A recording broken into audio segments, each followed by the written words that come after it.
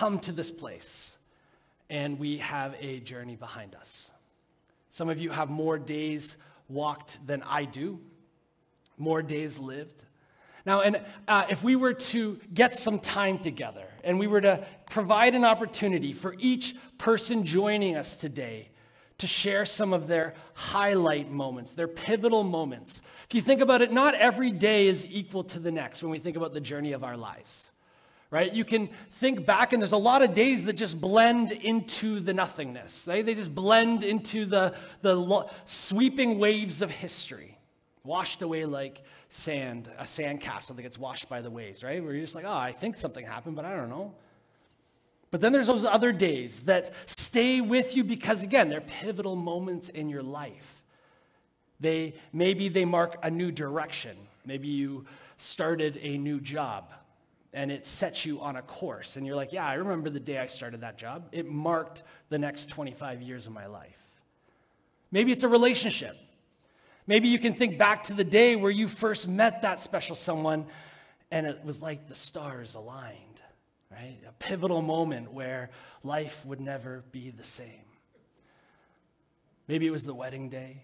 Maybe it was uh, on the tragic side, right? Maybe there's pivotal moments that have marked your journey from a negative perspective where you go back and you can experience the trauma again. We all have these moments that come to mark us, right? We have these moments that come to mark us. When you talk to people who uh, end up in ministry. There, there's sometimes uh, conversations around the call, right? The call to ministry. And I got to say, whenever anyone asks me about my call to ministry, I have to be honest. And that I say, I have actually never had a road to Damascus experience, right? This time when the sky opened and a voice told me what I was going to do. I've never had that.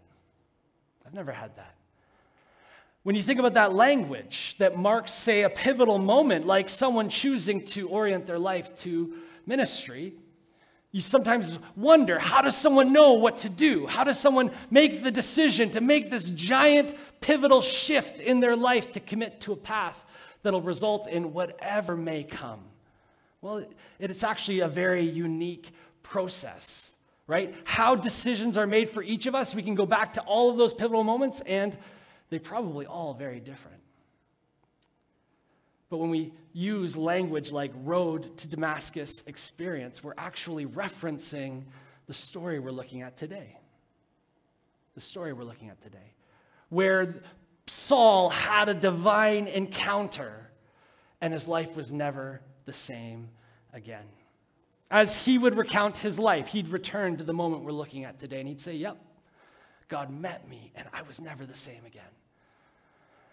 For you, again, when you were thinking about some of your pivotal moments, maybe you had road to Damascus experiences. Maybe you've heard God, or you've felt God, or you've been uh, encouraged in certain directions, and they have forever changed your life. Maybe you're waiting for God to interact with you. Maybe you're like, man, I really wish I experienced God in this area of my life because I think then I'd be able to cope a little bit better, or then I'd have a little bit more direction, or fill in the blank.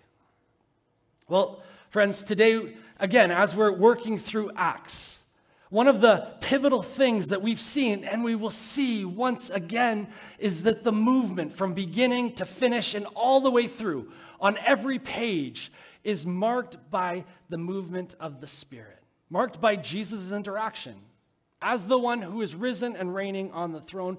If you remember back at the beginning, Jesus told his disciples to hang out in Jerusalem and that uh, the, the Spirit would come and provide the power to be witnesses in Jerusalem, Judea, Samaria, and the uttermost points of the earth. Last week we saw as the Ethiopian eunuch received uh, salvation, was baptized, that we saw that gospel message pushing then to the outermost parts of the earth, all motivated by the Spirit, all Jesus doing work in the lives of people to be his hands and feet as the gospel went out. Beautiful, beautiful. And again, if you remember, we're trying to figure out what do these early stories tell us about being the church in this time and in this place. So be thinking about that as we take a look at this story this morning. If you have your Bibles, I want to encourage you to turn to Acts chapter 9. Acts chapter 9, and we're just going to be hanging out here for the next few minutes. Acts chapter 9, and it starts out and it says, Meanwhile, Saul was still breathing out murderous threats against the Lord's disciples. So if you're working through the text, we have left uh, Philip in the Ethiopian eunuch, right? Where the Philip was taken to somewhere else and he started preaching there. The uh, Ethiopian continued on his way back, rejoicing.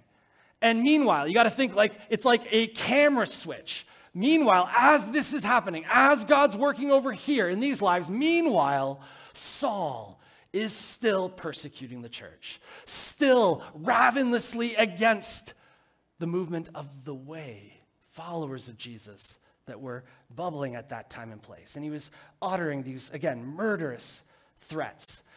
As uh, the Christians scattered out of Jerusalem at the persecution of Saul. And again, they would have ran wondering, will persecution ripple out to wherever we find? Can we go far enough that persecution won't reach us? Well, friends, their fears were well rooted because here we have Saul continuing his persecution. And so he goes to the high priest. He went to the high priest and asked him for letters to the synagogues in Damascus. So Paul, Saul had no authority on his own. He was just a guy who was passionately about Yahweh, about his Jewish rhythms. And so he went to the high priest and said, Give me authority. Give me your authority to go and act on your behalf to stamp out the way up in Damascus. And he received the letters. Now, it's interesting to trace the power here. Saul, having none, going to the high priest who had power. Now, the role of the high priest is a little bit complicated at this time because obviously he had power as uh, the high priest in his position. So among the Israelites, he would have had power control, authority. And so, again, Paul going for, Saul going for those letters. However, if you think about it, at this time, Israel was an oppressed people group under the rule of Rome. And so, how does the high priest have any power at all to make any decisions and arrest anyone at that time? Well, the high priest had made an unholy alliance right? The high priest had sworn fealty to Rome in order to maintain his power, privilege, and position. You think the high priest is there, and the high priest should be representing Yahweh and Yahweh well. And yet, when it came to push, you know, push and shove and the, the practical realities of first century Jerusalem, the high priest said, Yeah, but there's an emperor on the throne, and I need to bend the knee to that emperor. So Paul, Saul, Saul received authority, got the letter from the high priest. Now, again, when we think about the complexity of the high priest at that time, you got to remember that the high priest had hopes for the restoration of Israel, right? It's not all negative. It wasn't all just, you know, the high priest wanted Yahweh to come back in power and wanted Israel to be restored and all of the rest of that. The high priest held that, but, but thought the best way to do that is to pay homage to the emperor. Again, practical realities bumping up against the, what faithfulness to his God would have called him to. So it continues. So again, the high priest gives letters uh, so that if Saul found any there in Damascus who belonged to the way, whether men or women, he might take them as prisoners to Jerusalem. Now, verse 3 says, As he neared Damascus on his journey, suddenly a light from heaven flashed around him. He fell to the ground and he heard a voice say to him, Saul, Saul, why do you persecute me? Now, Saul responds and he says, Who are you, Lord? Saul asked. I am Jesus, whom you're persecuting, he replied. Friends, do you see again this divine encounter. So when I say, regarding my call to ministry that I never had a road to Damascus experience. I never had a time where I was knocked off my course, that I had set a course and said, I'm heading that direction, come what may. And on my way down there, I said, Hold up, no, you're not. You're going to go somewhere else. I have something else for you. I never had that. There was whispers and proddings and voices speaking in my life. And I think God used a lot of other factors. God still spoke but it was different, right? It was different. Heaven wasn't rent open and a voice calling out, startling me, blinding me, forcing me to reflect on all that's gone on. I never had that. It was different. But you got to see that there's times where God rips open our experience in order to speak. There's times where God says, Hold up. I got something to say. Friends, may we have ears to hear. May we have ears to hear. How is God speaking to you in these days? I find that during the pandemic, I could use a little bit more of the skies opening, the light shining down, and the clear instruction because really at times I find that the moments day by day are a little bit more foggy, it's a little easier to get into, you know, uh, just different rhythms. And it's like, God, would you speak? There's times where God opens the heavens and speaks and calls people. And there's times where God uses the still small voice, where God uses the people around us to speak to us, where God sure does something, but it's in different ways. So he calls out to Saul, Why are you persecuting me? Saul says, Who are you, Lord? And I am Jesus, who you are persecuting. Do, do you see that Jesus associates himself with the church? Jesus associates himself with those who are being persecuted. So, as Saul has gone about his business, he, ne- he wasn't involved in actually persecuting Jesus, arresting Jesus, taking Jesus to the cross. But as Saul has been persecuting the church, Jesus says, Why are you persecuting me? Why are you persecuting me? Friends, there is a beauty to what we see going on here, where God, in Jesus, associates with the church. God, King of kings, who is on the throne, pulls in that association with people that are running for their lives, scared. We could fast forward and say, friends, Jesus associates with us. We are living our lives, we have our stories, and yet in a beautiful way, Jesus says, Yes, and they are my body. They are my body. This should give us a, just a, a little bit of reminder that God is for us and God is here to move among us and be a part of what we're doing. We don't do it on our own, it's not just our hands. We pray that the Holy Spirit works in us, this divine association. Now, do you see how, in, in some respects, this is juxtaposed to the other authorities we see in the story? So Jesus says, Why are you persecuting me? King of kings, Lord of lords, all power in heaven and earth now rests in Christ's, and he is being persecuted through the church being persecuted. What are the other authority figures we see in the story? Well, we see the high priest. The high priest cowering in the temple from the powers of Rome, clinging to power and prestige, even though his people, the rest of the Israelites, are also oppressed under Rome. It's interesting. And then you go to the Roman Empire, emperor. And obviously, there's lots of different emperors with lots of different stories, but in general, the emperor was a little full of themselves. They actually came to view themselves as a child of the gods, right? They thought they were worthy of people coming and bowing before them. And they thought they deserved all of the money that came in and the taxes and everything. They thought they deserved to go out and conquer different peoples so that they could expand their empire. They thought it was their divine right and their prerogative to do that. How juxtaposed is that mentality? I have every right to go and do what I want, earn what I want, oppress what I want, expand my empire versus the one, the King of Kings, who associates with those who are persecuted. Why are you persecuting me? In Jesus, we see authority like no other. Right? The message of the cross is one where the kingdom gets turned upside down, and the one who rightfully has all authority and rightfully should be on the throne, who we can bow to, is the one that actually says, You're persecuting me. Similar, if you remember, near uh, in Matthew 25, we have a re- recording of Jesus teaching.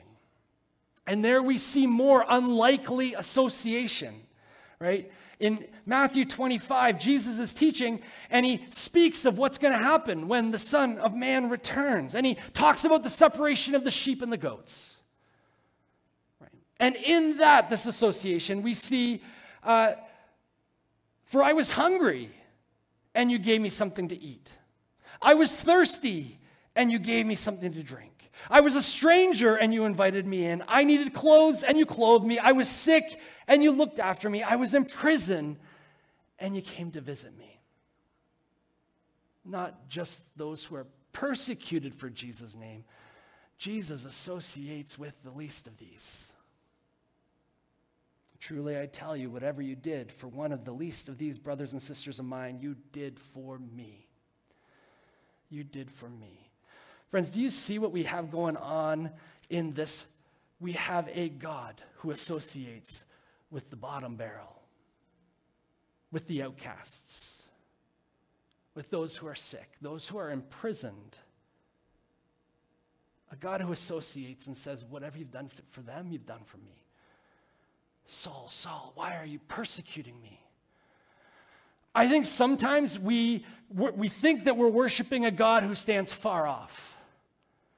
And yet, friends, in Jesus, the message of Christ is that we have a God who comes close to the lowly, comes close to mere mortals, comes close to all who are weary and heavy laden, and comes to give us rest. The message of the gospel is of, yes, the king. Jesus is on the throne, Jesus is risen. That's the gospel. The good news is that Caesar isn't, isn't the final authority and those broken temple systems where you have religious leaders, again, clawing for their power, prestige, and position, aren't the final story because in it we have Jesus. Why are you persecuting me? Unlikely association. Jesus and the least of these. Well, Saul hears this and he, we see him actually listen to this voice. In verse 6, the, Jesus says, Now get up and go into the city, and you will be told what to do. Now get up and go into the city. Again, here is one just a few moments prior, was almost at his Damascus destination. So fiery, so passionate, so uh, sure of his mission that he traveled almost 225 kilometers. It would have taken him almost two weeks to go from Jerusalem. And in a moment, meeting Jesus, knocked on his butt hearing a voice, Why are you persecuting me?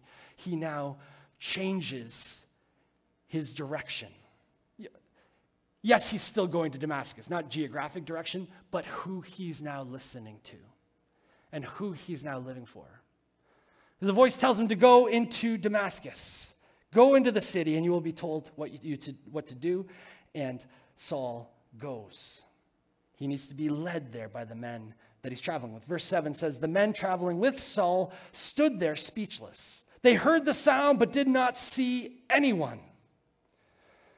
Here's another reminder about God working in unique lives and unique ways and unique circumstances. Right? Paul was called in this way. We don't need to listen for the skies to open and light to shine. I expressed how I was called a little bit differently, very differently, in fact. Yet I still feel I was called. you may be invited into different rhythms of serving God that may not look like the other rhythms, the other invitations, right? So we can't just try to echo our lives after someone else's life. Well, God did that in them. I got to wait for God to do that in me. Well, friends, maybe God's doing something else in you. Maybe God is carving out a new niche for you. Maybe God is calling you to go into a different place or to do something else. Can we be faithful to what God calls us to? So these men didn't see Jesus, they just heard.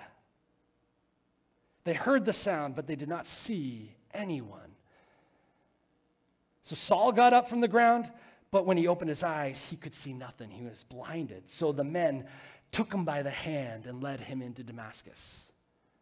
Right? He obeyed, he listened. And then for three days he was blind and did not eat or drink anything. Try to get into Paul's Saul's headspace here. I'm going to mess that up all day, I think. But try to get into Saul's headspace in this moment, right? He had again lived his life passionately devoted, pursuing Yahweh. And when the church started to gain momentum, he said, Oh no, not on my watch. And he started persecuting, right? And we saw that he stood behind Stephen being stoned. And we saw that the great persecution that broke out in Jerusalem at that time that pushed people away was driven by Saul. He was passionate. And, and a few weeks ago, we quoted how he was a Hebrew of Hebrews. Right? Paul, Saul was just uh, passionately about what he thought to be true. And then now, here in this moment, after this divine encounter, I think he's doing some thinking. I think he's wrestling internally, right? Thinking through all that he had done, all that he experienced. Where was I wrong? What is the truth? Where's the firm foundation that I can stand? I thought I knew it. I thought I knew it. And for three days, he doesn't eat a thing. He fasts, he prays, he pursues God, and he tries to figure things out. In verse 10, the scene shifts. So we leave Saul fasting, blind in the building, and the scene shifts to another character. Verse 10 says In Damascus there was a disciple named Ananias, and the Lord called to him in a vision Ananias. Now, we get introduced to it says a disciple. He was the very ones, one of the very ones that Saul was coming to try to arrest. So you have to think again, it would have taken two weeks for Saul and his band of enforcers to make their way from Jerusalem up to Damascus. And so for two weeks, perhaps a messenger ran ahead. Hey guys, he's coming. Get ready. You got to run. Saul is coming. And so Ananias was still in the city. So obviously he kind of said, okay, come what may, I am going to serve God here. He had been preparing himself to be dragged out of his home, to be arrested and brought back to Jerusalem for trial. He had heard of Saul. He knew it was coming. He had been readying himself. And so the Lord calls him Ananias. And you got to think, right? When, when your quiet time or your breakfast or you just sweeping the floor gets interrupted with your name being called by God, you got to think, oh boy, oh boy, he's got something big for me, right? Oh boy, this is going to be good. Ananias, Ananias says, Yes, Lord, I'm here, I'm ready. Verse 11 says, The Lord told him, Go to the house of Judas on Straight Street and ask for a man from Tarsus named Saul, for he is praying. In a vision, he has seen a man named Ananias come and place his hands on him to restore his sight. Hold up God. Saul of Tarsus? I've heard what he does. I've been getting ready for his arrival. I've been preparing myself. You want me to go see him? He says, verse 13, Lord, Ananias answered, I have heard many reports about this man and all the harm he has done to your holy people in Jerusalem. And he has come here with authority from the chief priests to arrest all who call on your name. hold up, God, really? This is why you called me? This is why you interrupted my day? You see that he highlights the authority piece? He comes with the authority of the high priest. And again, in that setting, we got to remember that the high priest only has authority because of bending a knee to the Roman Empire emperor. So he's coming with the power of actually Rome. Now the response. The Lord said to Ananias, Go. This man is my chosen instrument to proclaim my name to the Gentiles and their kings and to the people of Israel. I will show him how much he must suffer for my name. You got to go because I'm going to use him. I'm going to use him. And do you see that already in this brief moment, we, it cracks open to a lesson about authority in the kingdom of heaven, where Ananias says, He comes with authority. And yet, the, here, uh, the response is, This man is my instrument to proclaim my name to the Gentiles and their kings. This guy is going to show them a real lesson in authority in my name. Saul's going to go turn the world upside down, declare the gospel, and he will be harmed on my account. The one who did so much harm will be harmed on my account. I think this is, again, a beautiful note here where uh, there can be expectations around where true power lies. There can be practical realities, and we can sometimes be scared about what it means to follow Jesus. More so in other countries, where actually believing faith, you risk your freedom. You sometimes risk your very life, and yet people still do it because they have met the risen Christ and they have found him compelling. Friends, what would it mean for us to recognize true authority? Authority to move through our days with a trust, with a faithfulness to be able to go where we are called, to be able to follow where we're led, to be able to speak when occasion arises, to represent the risen Christ, the King of Kings, Lord of Lords, who associates with the least of these.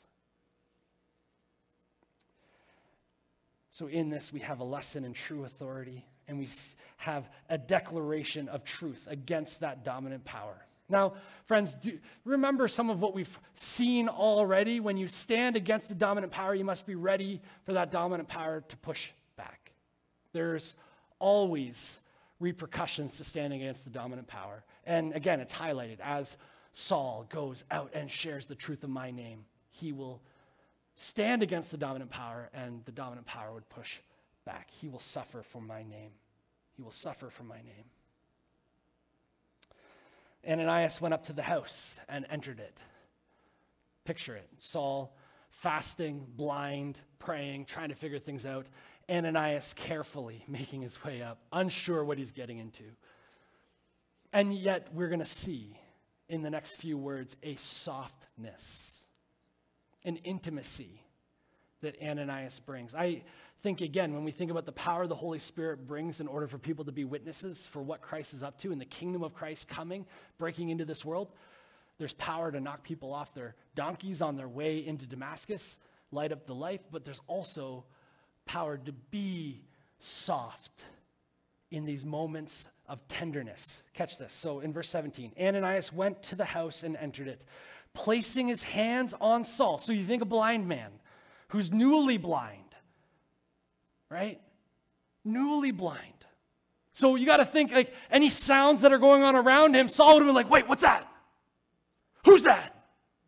Right? A little unsure of the space. This isn't his house. So getting to the chair, he's got to feel his way along, getting to the bed, getting to eat, trying to make sure that he, what, what am I?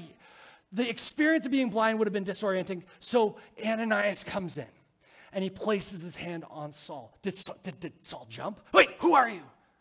And he says, Brother, Brother Saul, Brother Saul, the Lord Jesus, who appeared to you on the road as you were coming here, has sent me so that you may see again and be filled with the Holy Spirit.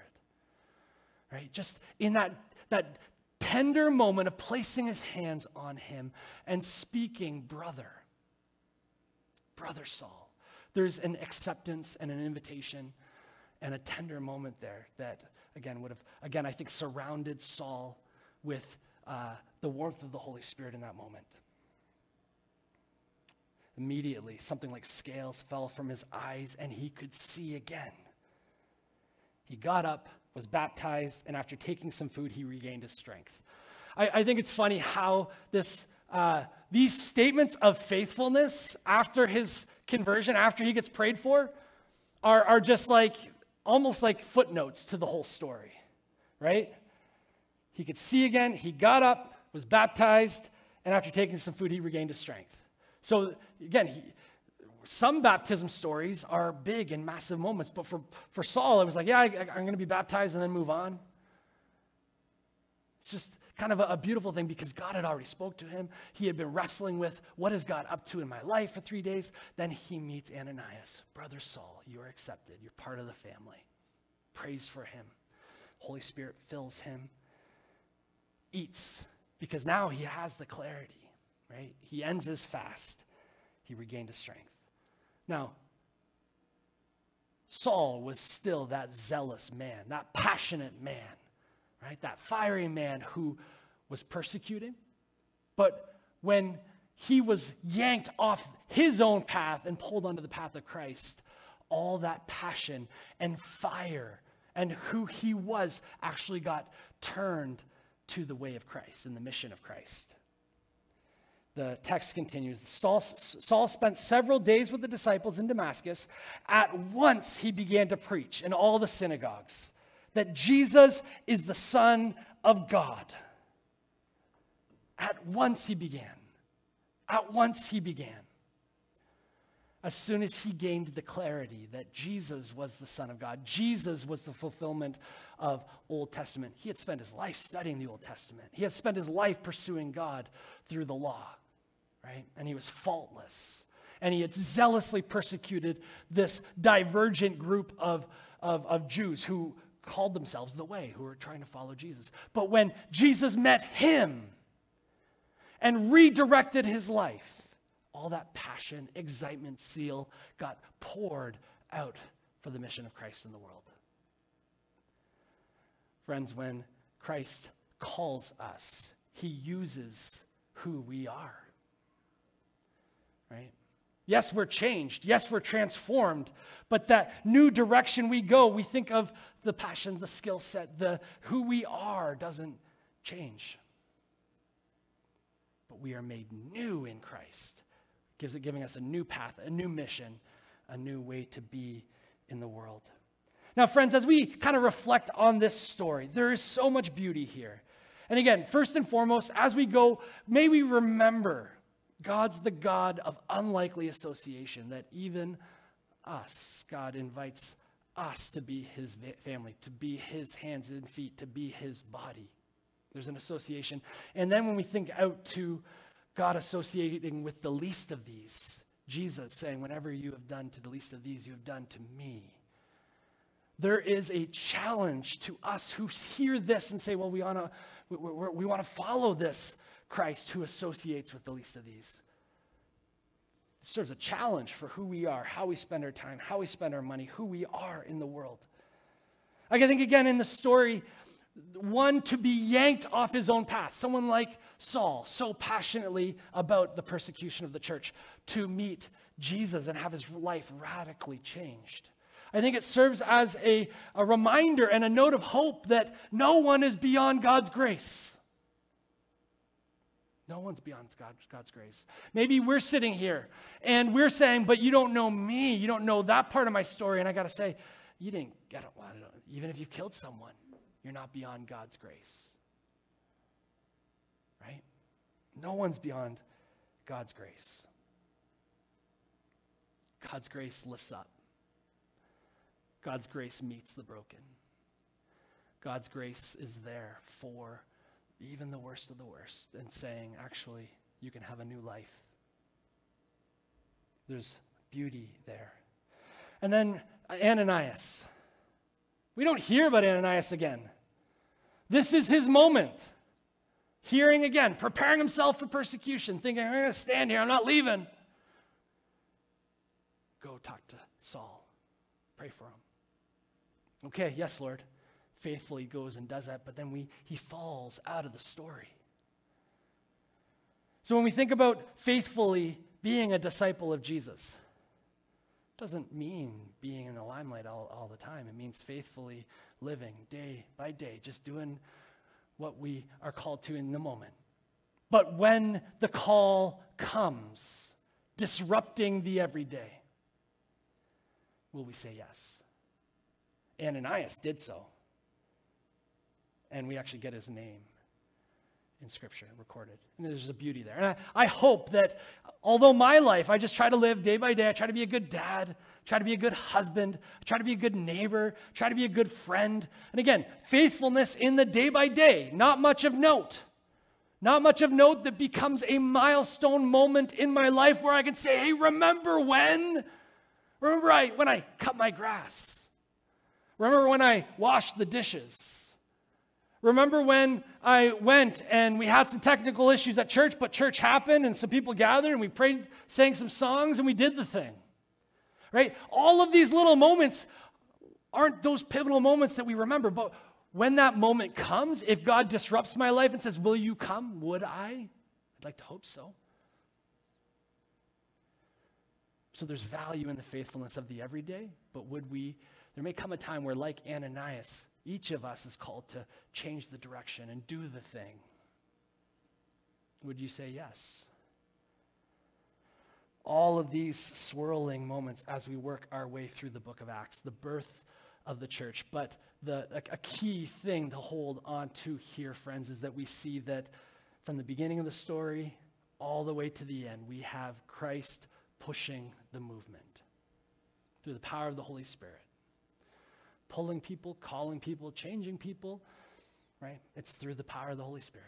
And I just pray that we as a church would be uh, tuned to the Holy Spirit working in us and around us. Let it be the Holy Spirit that energizes our ministry that whether it be playing cards at a table downstairs, whether it be preaching a sermon from the stage, whether it be knitting a, a hat or baking some banana bread or uh, whatever it is, right?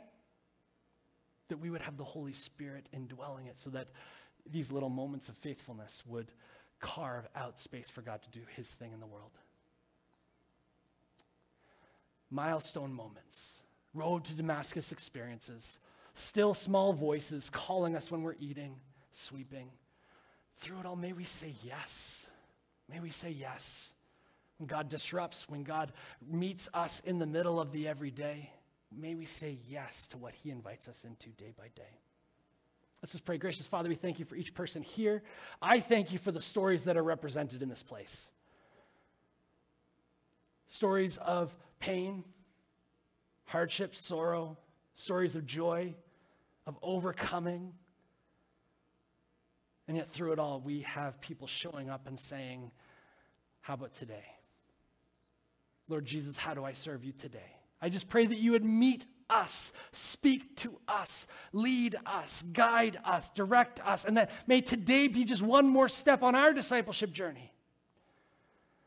And every day may we say yes to the little acts of faithfulness that is involved in being a Christian. But when there comes a point where you disrupt our everyday in order to say, hey, would you go to this guy who's been persecuting the church and lay your hands, pray for him, let him know. May we then say yes. Lord Jesus, have your way in this place, in this church family, and each of us as individuals. It's in the name of Jesus we pray. Amen.